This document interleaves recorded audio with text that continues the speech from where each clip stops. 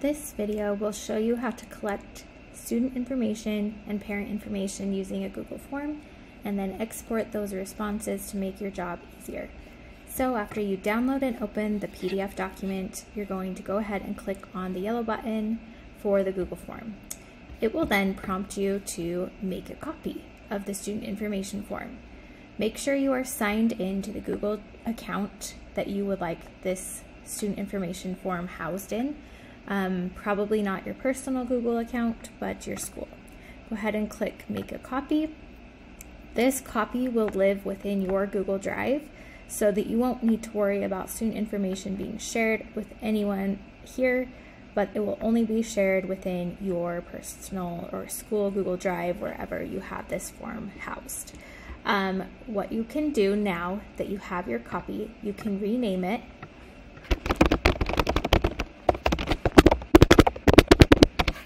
You can also, um, you can change anything in here. You can change the directions. If there are any of the things listed out that you do not want, um, or if you want different wording, you can adjust those. You can delete it by just clicking on the trash can. If there's something else you want to add, you can add it by clicking the plus over here and add another question box like this. If there is something that you would like to change from an item type. For example, this one is a multiple choice. If you want to change it to um, a paragraph answer, you can click on that and then they can just type it in. If you want to undo what you did, you can click like that. Um, and then go ahead and fill in if you want to make a question required. This little toggle shows you that it's required or not, and the little red asterisk also shows you on this side if it is required or not. Um, if you want to get more in depth with your editing, you can also click the customize theme. Here you can change the fonts, you can change the colors and add more colors and adjust like that as well. If you want to preview what it looks like, you can just click the eye button and that will show you a preview of what it's going to look like for the parents when they open up the form to fill it out. When you have it all done and ready to go, you want to go ahead and toggle over here to make sure that the settings are the way you want it to be. Um, I recommend looking at the responses. Do you want to collect email addresses? Do you want the responders to get a copy of what they said? Do you want them to be able to edit? Do you want to limit to certain users? I recommend not doing that.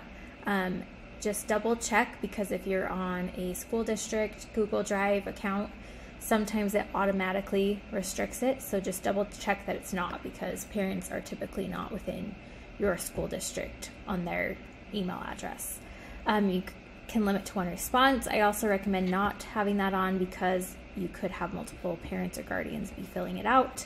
Um, and then when you're all ready to send it, you're going to click the send button, and then here's some options. You can email it, so if you already have parent emails, you could type in their email addresses right here and type in a message, a subject, things like that. Um, most often, people use the link. So if you click here, here's the link, and you can shorten it so it's not so long. And here's a link, and then you can share that link within an email or um, a text message, class dojo board, anything like that. Um, if you already do have a class website and you want to put it on the class website, you can embed the form as well from here. So grab the type of sharing that you would like to share it with. If you have a class Facebook page, you can share it that way as well. And then what will happen is when people respond, all the responses will show up here within your original form in your Google Drive. And the responses will show up here.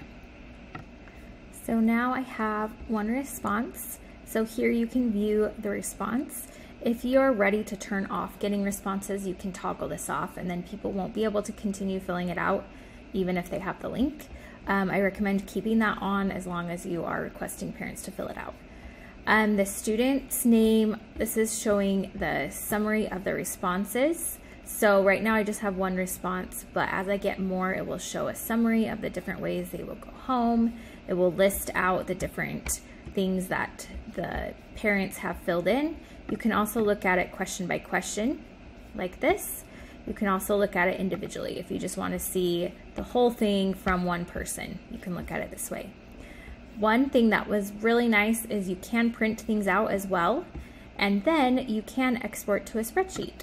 So if I click on this, I'm gonna create a new spreadsheet. And then when I have my new spreadsheet open, this is where I can see right now at a glance all of the information that parents filled out. I can see when they filled it out, and then I can see there's a column for every single thing that they filled out on the form.